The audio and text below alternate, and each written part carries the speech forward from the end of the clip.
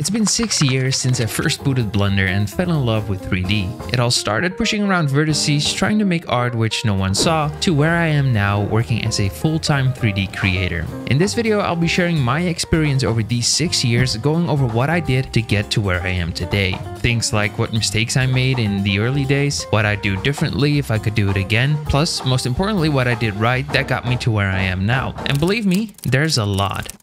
So for year one, I set out to learn 3D modeling and rendering, and I learned pretty quickly that most people use Maya, Cinema 4D, or Blender to do this. Now, I personally liked Cinema 4D since I knew it had integrations with After Effects, and at the time I was already pretty good at using Adobe software, but so yeah, Blender it was.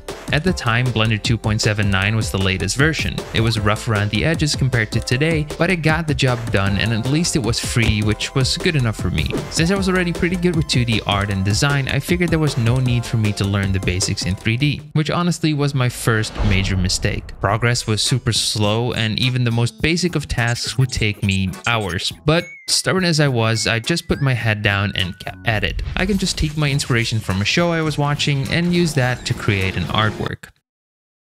Yeah, so this took me literal weeks to do and it's basically just a few cylinders, extruded cubes and a plane or two. Now, is it a terrible artwork? No, I don't think so, but it's also not the best and definitely not seeing how much time I put in. I usually pick up skills quite fast, so struggling this much to create something this simple and finding out creating in 3D is nothing like 2D honestly discouraged me a lot. So much so that I gave up on Blender for the rest of year 1 and went back to just playing video games instead. It's worth noting though that even the biggest artists out there started with some terrible, terrible artworks. No one is born an award-winning artist, it always takes tons of time and effort. So don't expect to be good from the get-go, but instead put in the work. Enter year 2. In year 2 my job increasingly sucked and so I figured it would be a good idea to have a goal to work towards. I set my sights on working in the game industry. So I connected with some friends of friends who already worked at AAA game studios and even noticed some new openings at Guerrilla Games. But this new goal also created some anxiety as it created doubt for my weapon of choice, Blender.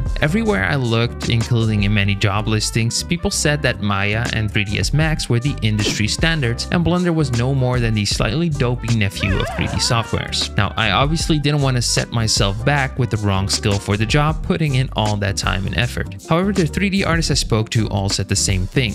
It's not the tool that matters, but the result. Plus, many of the same principles apply on a broader level than the tool itself. Learning Maya isn't crazy hard if you're great at Blender, just as learning digital art isn't that difficult if you already make physical art. So it's not time wasted in my opinion. And to be honest, it also kind of fit my view since Blender was still $2,500 cheaper than the so-called industry standards. Plus, with the 2.8 update, Blender looked and performed better than ever and also got increasingly popular popular with both pro and aspiring artists. Fact was though that you'll have to learn the basics for the tool and as you may remember I still didn't really know any of these basics. And not only did I not know the Blender basics, I also needed to learn skills like UV unwrapping, texturing, proper topology and so many other crucial skills. So just like in year one, I went at it and tried doing it all by myself but this time around I realized my mistake early on and took to the internet and my new 3D artist friends for help.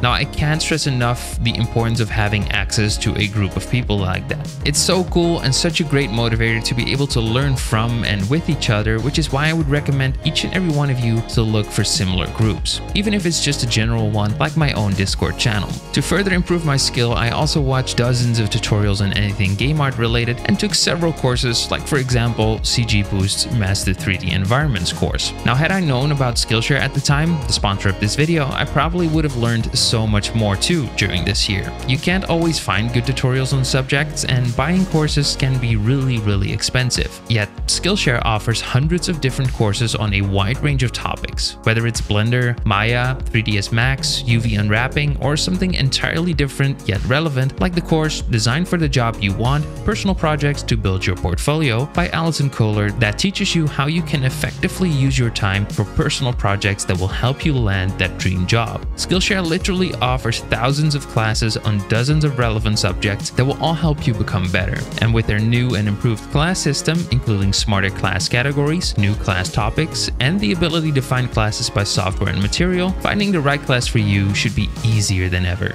Don't make the same mistake I did four years ago. Invest in endless knowledge for just a couple of bucks a month by signing up to Skillshare now and use my link in the description to get a one month free trial. It's available for the first 500 people who sign up, so don't miss out. Now, having spent all year learning the basics and getting better at Blender, I slowly started feeling comfortable with 3D and I was truly excited for the future. But that excitement didn't last long because in year 3, I quit Blender. With the limited free time I had, I found spending it on learning Blender increasingly difficult. Working a job, socializing with family and friends, and trying to learn a new skill was a lot. I started spending less time on learning and more time on relaxing. Booting Blender became a chore instead of fun, and the idea of having to spend yet another evening and night learning about shortcuts and proper modeling techniques turned into a huge hurdle. This feeling lasted for months. After a while, I figured that what I needed was some external pressure. So I decided to join in on ArtStation's Feudal Japan challenge and set my sights on their prop challenge, creating three high-quality game assets based on concepts from the already completed concept art challenge. This really helped as I now had a goal to achieve, having told friends and family, and most important my group of peers that I'd be joining really put on the pressure to put in the work and fired my passion. Every moment not spent working or sleeping, I now put into this challenge. Hundreds and hundreds of hours, often deep into the night over the course of months, and in the end, I managed to complete two out of the three required props. I never stood a chance at winning, but having put in so much effort, I was proud of my accomplishment. Creating two, in my opinion, pretty cool and well made assets that got some positive feedback from pro artists and taught me a lot of new stuff was a big high for this year. But after the challenge was over, I fell into a hole. The realization set in that it took me months of work to create two prop assets that in an actual studio would probably take about a day or four of work each,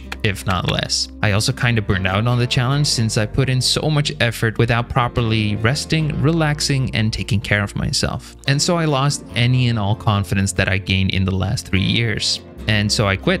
I gave up. I felt like I began too late, was too old, and couldn't compete with people that had more time, more skills, and less obligations, all the while being 10 years younger than me. Looking back, I probably should have kept at it. I now believe that whatever you put energy into grows. Yet, I gave up so early on, giving into my anxiety and never gave this thing enough of a chance to develop and grow. Now this all sounds pretty bad and like the story should end here, but instead it actually sparked the biggest change in my life ever, which leads me to year 4.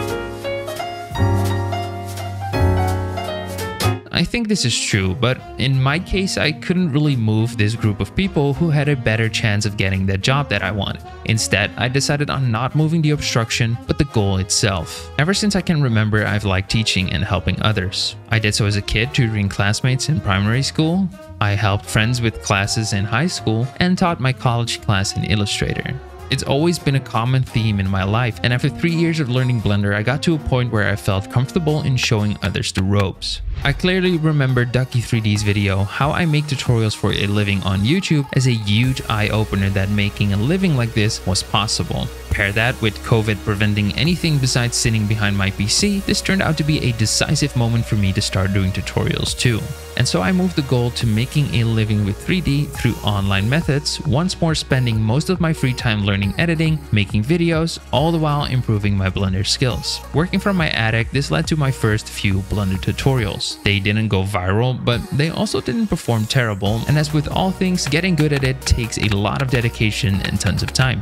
Again, if you put energy into something, it grows. Luckily, I thoroughly enjoyed this combination of doing Blender and teaching it to others. Plus, this time around, I wasn't planning on giving up like before, no matter the struggle in combining this with work and social life. So I made video after video, creating personal projects as the basis for these tutorials. And with each video, the quality and more importantly, importantly, my skill as a teacher and Blender user grew. I learned so many new things like running a YouTube channel, presenting information, telling a story, and being an online presence. And with Blender constantly getting new updates, including a huge overhaul in version 3.0, there was no shortage of new stuff to learn, discover, and teach in videos. Eventually, I figured that even if this YouTube thing never went anywhere, I still got all these new skills that would look good on my resume which honestly is a great reason for learning new things anyways. It shows dedication, the will to grow and learn, and the ability to change. Working from home due to COVID still, I spent this whole year making tutorials and by the end of the year, I enjoyed this so much I decided to quit my job. Now I think it's good to point out here that I wouldn't recommend anyone ever do this without some sort of safety net. In my case, my wife had a decent paying job and if necessary we could rely on her income to survive while I went back to finding a normal job. Anyways,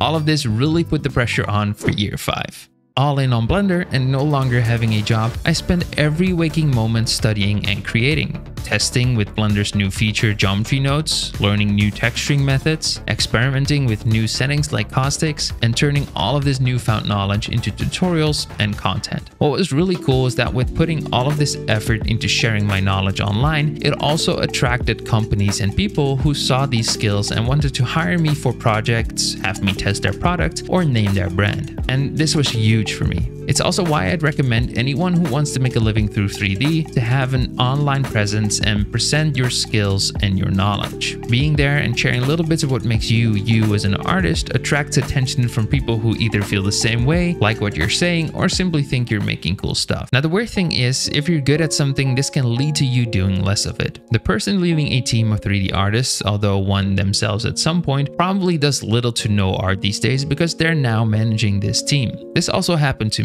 I spent so much time making videos, running the business, and doing all the things that come with it that by the end of year 5, I hadn't really used Blender for months. And that's bad because using Blender is what I enjoy. Not only that, learning is a lifelong process, especially with Blender developing so fast. We're already at Blender 4 Plus now, which is kind of crazy to me coming from 2.7, and this industry is constantly moving and changing. Just take AI for example, throwing new challenges at us. So improving, learning, and working with the tools is important, and I stopped doing that. So now we're at year 6. I've been trying to reconnect more with Blender this year, but it often still feels like the train is in motion and I can't really get off anymore. I'm on board, heading for destination who knows. Now, I'm not complaining, this train is amazing and I'm having a blast riding it, but seeing Blender from the window as I pass it once more isn't always fun. And that's what my biggest takeout from 6 years of Blender is. I started doing Blender initially as a creative outlet, with making a living being a means to keep doing Blender as much as possible. And going from start starting out making art like this, to improving with game assets like these, to finally having a successful career doing 3D tutorial content for over 200,000 of you has been amazing to be a part of. But at some point, turning a hobby into work can prevent you from actually doing the hobby in the free, careless way that you did before. There's nothing wrong with that, but it's good to realize this if you set out to turn your passion into a living. Now for me, the way forward is to get back into Blender as much as possible whilst embracing this new career that it gave me. How? I don't know yet, but I do know that I look forward to the years to come and share with all of you and Blender.